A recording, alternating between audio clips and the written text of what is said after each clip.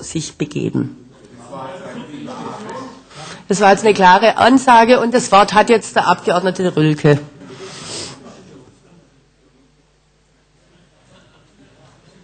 Herr Präsident, Frau Präsidentin, Entschuldigung, liebe Kolleginnen und Kollegen. Zunächst finde ich den Debattenverlauf bemerkenswert. Die CDU-Fraktion beantragt eine aktuelle Debatte. Die Regierungsfraktionen erklären, diese Debatte sei völlig überflüssig und dann meldet sich der Ministerpräsident zu diesem Tagesordnungspunkt. Und ich kann mich, Herr Ministerpräsident, da dem Lob des Kollegen Haug nur anschließen. Wir freuen uns, dass Sie vorübergehend Ihre Bienenzucht verlassen haben, um ausnahmsweise im Landtag zu reden zu diesem wichtigen Punkt. Und ich bedanke mich, bedanke mich bei Ihnen ganz herzlich für das Bekenntnis zur Verfassung. Aber dieses Bekenntnis zur Verfassung sollten Sie vielleicht etwas in der eigenen grünen Partei verbreiten. Sie haben klipp und klar, und ich begrüße das mit aller Deutlichkeit, sich dazu bekannt, wenn dieses Gesetz am Quorum scheitert, ist es gescheitert. Nur haben Sie am vergangenen Wochenende dem Oberbürgermeister von Tübingen ein Forum geboten. Der war quasi Hauptredner auf Ihrem Parteitag und hat genau das Gegenteil für die Grüne Partei angekündigt.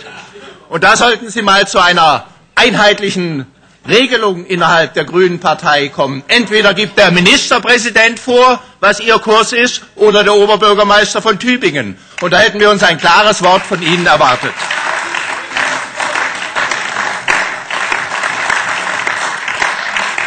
Und so ganz festgelegt haben Sie sich ja nicht, Herr Ministerpräsident.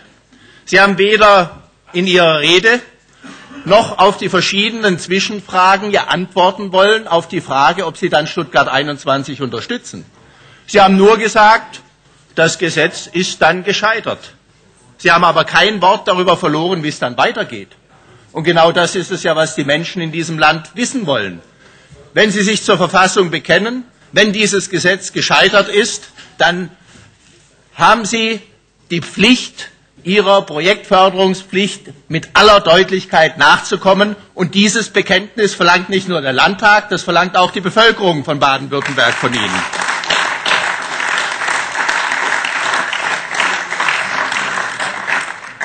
Dann haben Sie eine Lanze gebrochen für die politische Kultur. Auch das kann ich nur begrüßen. Sie haben erklärt, Lügenpack hätten Sie immer abgelehnt. Lügenpack hätten Sie immer abgelehnt, aber im Gegenzug der Opposition vorgeworfen, man sei ja auf demselben Niveau. Und Sie haben dann einige Begriffe aufgezählt. Ich habe nur einen davon notiert, Schlamassel. Also Entschuldigung, Herr Ministerpräsident. Wollen Sie dem Hohen Haus allen Ernstes sagen, Lügenpack und Schlamassel stünde auf demselben Niveau? Und wenn Sie das so sehen, dann kann ich Ihnen nur empfehlen, mal die Plenarprotokolle nachzulesen aus der Zeit, als der Sie noch, in der Sie noch in der Opposition waren. Wollen Sie uns ernsthaft weismachen, dass Sie solche Begriffe, solche Angriffe auf die alte Landesregierung nie, aber auch gar nie in den Mund genommen hätten, Herr Ministerpräsident? Ist es wirklich so, dass Lügenpack und Schlamassel auf einer Ebene steht? Das wäre schon ein eigenartiges Verständnis von Debattenkultur, meine Damen und Herren.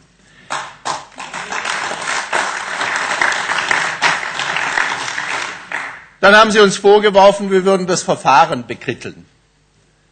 Ja, wie kommt denn das? Wie kommt es denn dazu, dass das Verfahren bekrittelt wird? Das haben doch nicht die Abgeordneten des Landtags von Baden-Württemberg erfunden. Sie können doch nicht bestreiten, ernsthaft bestreiten.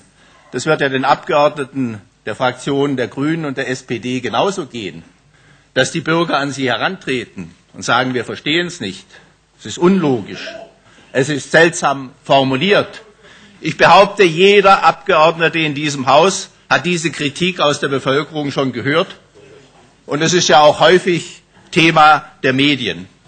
Und wenn Sie für eine hohe Wahlbeteiligung eintreten, wenn Sie dafür eintreten, man soll die Bevölkerung informieren, dass sie auch hingehen, dann können Sie uns nicht ernsthaft vorwerfen, wir würden das Verfahren bekritteln, denn es dient ja gerade der Klarheit, wenn wir solche Debatten führen, damit die Menschen im Land auch verstehen, was mit diesem verquasten Gesetz und dieser eigenartigen Begründung, die Sie da im Kabinett beschlossen haben, eigentlich gemeint ist, meine Damen und Herren.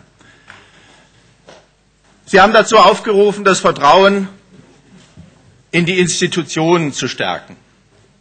Sie haben gesagt, das Vertrauen in die Institutionen nehme ab. Und ich zitiere Sie, wir sollen an der Sache entlang argumentieren, dann würde dieses Vertrauen in die Institutionen wieder wachsen. Da haben Sie völlig recht, Herr Ministerpräsident. Nur sind Sie doch ehrlich. Es geht doch bei diesem Gesetz nicht darum, an der Sache entlang zu argumentieren. Es geht bei diesem Gesetz nicht darum, nun etwas für die politische Kultur zu tun. Es geht nicht mal so sehr um Stuttgart 21, sondern es geht um einen Formelkompromiss für eine Konfliktkoalition. Das ist doch der Grund für dieses ganze Verfahren und für diese Volksabstimmung. Sie wissen doch, Sie wissen doch ganz genau, dass Sie sich mit Ihrem Koalitionspartner niemals einigen. Und Sie wissen ganz genau, dass diese Volksabstimmung der kleinste gemeinsame Nenner gewesen ist, damit diese Koalition überhaupt möglich wurde. Und jetzt kommen Sie aus der Nummer nicht mehr raus. Und deshalb wird es immer komplizierter. Und deshalb wird der Eindruck erweckt, man könnte aussteigen aus Stuttgart 21. Dabei wird nur über die Finanzierung abgestimmt. Das ist doch der eigentliche Grund. Es ist einfach nicht zutreffend, wenn Sie sich hier hinstellen und sagen, es ginge um die Sache. Nein, es geht Ihnen um die Koalition und letztlich um die Macht. Das ist der Grund für das ganze Verfahren.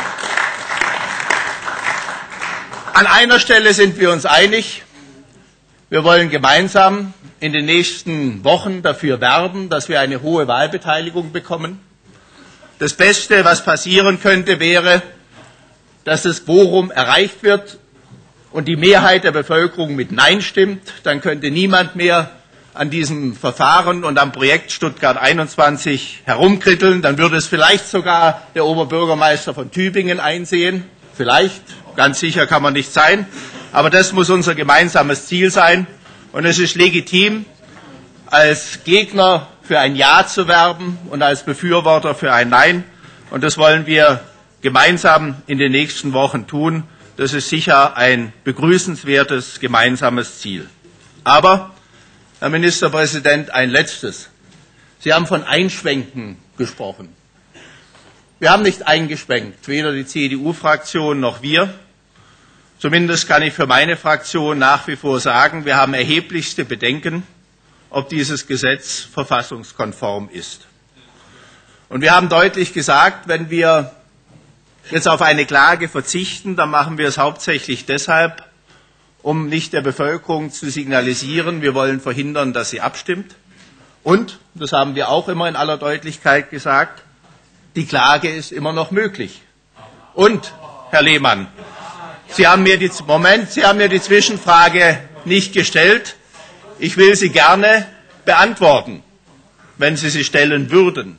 Ich sage Ihnen aller Deutlichkeit zu, die die FDP-Fraktion wird nicht gegen dieses Gesetz klagen. Ganz egal, wie die Volksabstimmung ausgeht. Das ist aber auch nicht der Punkt. Das ist auch nicht das Thema. Das habe ich immer gesagt. Denn selbst für den Fall, dass dieses Gesetz durch die Bevölkerung in Kraft gesetzt wird, landet das Ganze trotzdem vor Gericht. Weil die Bahn wird gezwungen sein, sich mit ihnen gerichtlich auseinanderzusetzen. Und deshalb gibt es natürlich immer noch die Frage einer gerichtlichen Auseinandersetzung, die da im Raume steht. Und deshalb kann es natürlich immer noch sein, dass das Ganze gerichtlich überprüft wird. Und es kann immer noch sein, dass am Ende, meine Damen und Herren, ein Gericht feststellt, dass Sie mit diesem Gesetz auf dem Holzweg waren. Und dann, meine Damen und Herren, und dann, Herr Ministerpräsident, erwarten wir von Ihnen, dass Sie mit einem solchen Urteil genauso umgehen, wie Sie es von Willi Stechele verlangt haben und wie Willi Stechele es gestern auch getan hat.